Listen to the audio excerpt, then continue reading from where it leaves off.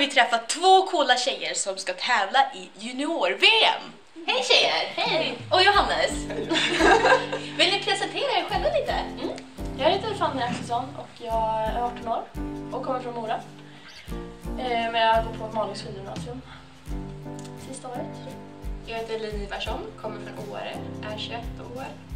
Eh, har gått ut skidgymnasiet så jag åker bara för tre år. Jag är Johannes.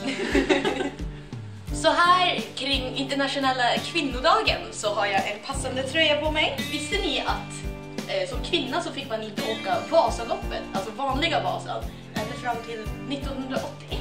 Så alltså innan det så fick man åka någonting som heter Tjejvasan som var tre mil, alltså sex mil kortare än vanliga Vasan. Det är helt sjukt.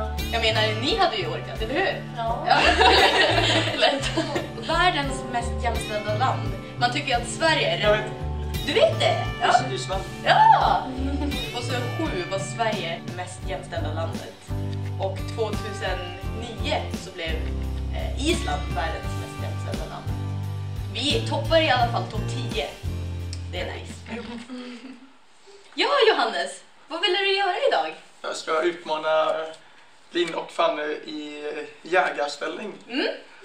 Den som klarar längst helt enkelt. Vad är jägarställning då? Ja, 90 grader från väggen. Man typ så här, ska ha uthållighet. Mm? Är ni redo tjejer? Det är vi. Snyggt. Jag kör! Jag rutinerade.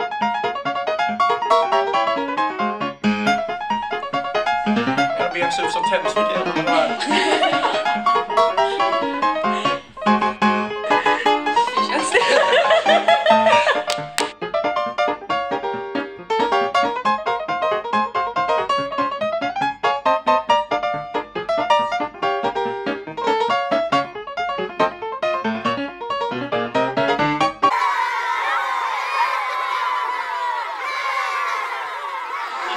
Nu ska vi stå på händerna och se vem som kan hålla ut längst.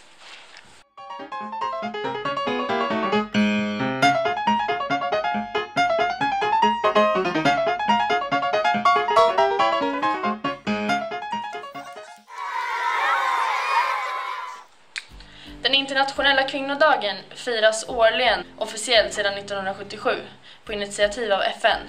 Den inträffar alltid den 8 mars. För oss är internationella kvinnodagen viktig för att uppmärksamma kvinnors rätt i samhället. Vi vill visa de kommande generationerna att allt är möjligt oavsett kön. Vill du något nog mycket så kan du.